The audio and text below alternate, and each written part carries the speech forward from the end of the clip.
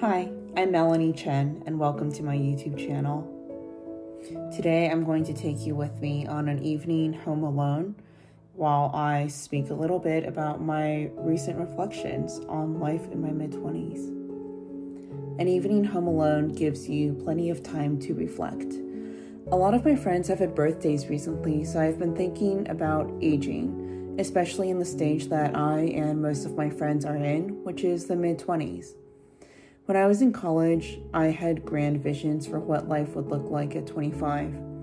I thought that I would have everything figured out between my career, relationships, family, hobbies, and every other aspect of my life.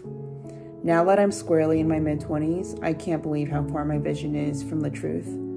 25 is a strange age. My friends fall into many different camps.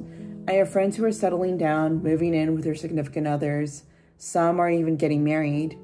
And I also have friends who are now trying to figure out what they want out of life. They're a few years into working in a job that maybe wasn't all that they had hoped it would be. And I have friends who are still in school. I have friends who are going through quarter life crises. And I've had my fair share of quarter life crises. Depending on what you think my life expectancy is, I think I've had a quarter life crisis every year since 2020. At least once a year, I think back to the vision I once held for myself when I was in college, and I look around at all of my peers and all that they have accomplished.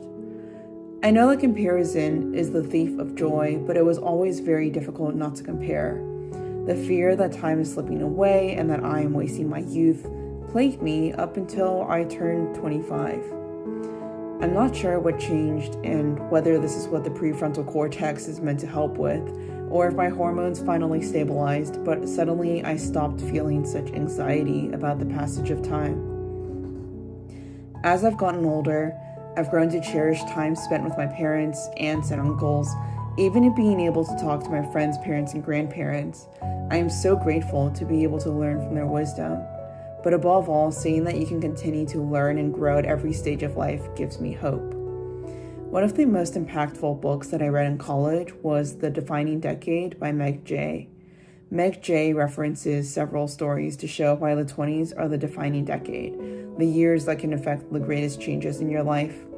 However, while this is true, Meg Jay also shows how the most important thing is not when you make a change, but that you make a change.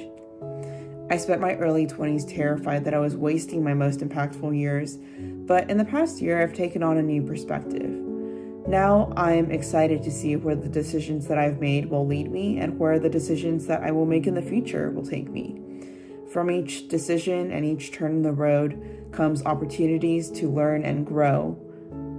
I haven't figured out all the answers that I thought I would have by now when I was younger, However, I am excited to get a step closer to an older and wiser me each day. As Emily Dickinson said, I dwell in possibility.